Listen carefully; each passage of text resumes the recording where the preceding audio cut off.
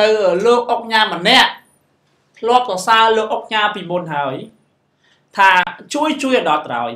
3គ្រួសារខ្ញុំចាំពីមុនណាបាទទទួលបានផ្ទះល្វែងទាំង3ទាំង3គ្រួសារហើយ3គ្រួសារនោះមានការងារធ្វើទាំងអស់ចា៎បាទហើយឥឡូវនេះមានដំណឹងពីលោកអុកញ៉ាទៀតហើយដំណឹងយ៉ាងម៉េចជួបកញ្ញារាំងស្រីទាំងអស់គ្នាចាលោកអុកញ៉ាស្រីចន្ទថនសន្យាថាពេលត្រឡប់ពីដំណើរទស្សនកិច្ចនៅឯសហរដ្ឋអាមេរិកវិញ នឹងជួយសាងសង់ផ្ទះថ្មីដល់គ្រួសាររងគ្រោះដោយអគ្គិភ័យនៅឯខេត្តកំពង់ស្ពឺដោយការមើលឃើញនៅផលវិបាករបស់គ្រួសារដែលរងគ្រោះដោយសារអគ្គិភ័យនៅខេត្តកំពង់ស្ពឺកាលពីពេលថ្មីថ្មីកន្លងទៅនេះលោកអញ្ញាស្រីចន្ទថននឹងចូលរួមបរិច្ចាគជាថវិកាដល់គ្រួសាររងគ្រោះដោយសារអគ្គិភ័យខាងលើនេះលោកអញ្ញាស្រីចន្ទថនបានមកខុសសារនៅលើ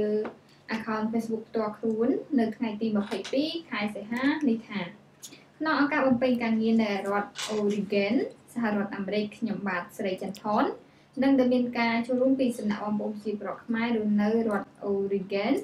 និងរដ្ឋ Arizona បានចូលរួមជាថវិកាដើម្បីចូលរួមជាមួយនឹងសមាគមចលនាយុវជនកម្ពុជាក្រុម157សាខាខេត្តកណ្ដាលដែលមានខ្ញុំបាទជាប្រធាននៃសាខាក្រុម157ប្រចាំខេត្តកំពង់ស្ពឺដើម្បីសាងសង់ផ្ទះឡើងវិញ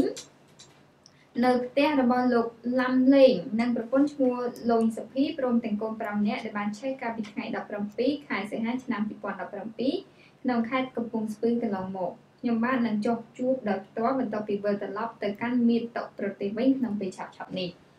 ចឹងគ្មានអ្វីសរសើរទេចាច្រើនទេចាប៉ុន្តែសូមសរសើរដល់លោកអុកញ៉ានៅដល់សហរដ្ឋអាមេរិក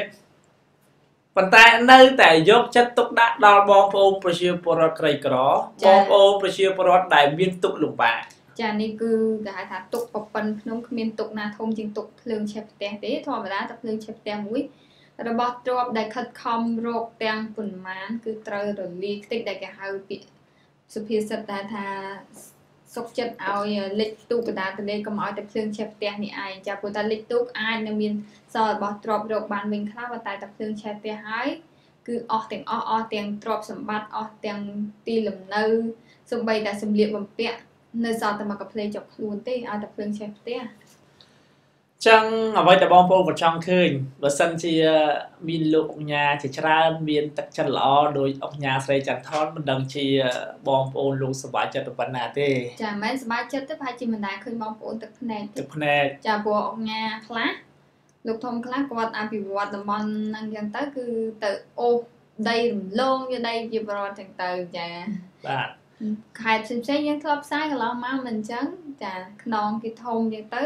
អុកញ៉ាជាអ្នករៀបចំអ្នកធ្វើចឹងទៅធ្វើឲ្យបងប្អូនតំបន់ហ្នឹងទឹកភ្នែកទឹកសបោបាទអរគុណបាទអរគុណដល់លោកអុកញ៉ាស្រីចន្ទថនទោះបីជានៅឆ្ងាយឯនេះសមុទ្រក៏ដោយក៏នៅតែព្រួយបារម្ភអ្វីដែលជាទុកលំបាកអ្វីដែលជាទឹកភ្នែករបស់បងប្អូនប្រជាពលរដ្ឋ ហើយសូមជូនពរឲ្យដំណើរវិលត្រឡប់មកកាន់មាតុភូមិវិញដោយសុខសុវត្ថិភាពហើយក្រុមការងាររបស់យើងក៏ធ្វើការឡាយចេញពីពលិតចំណោះពូជតង់ដែរចាបាទ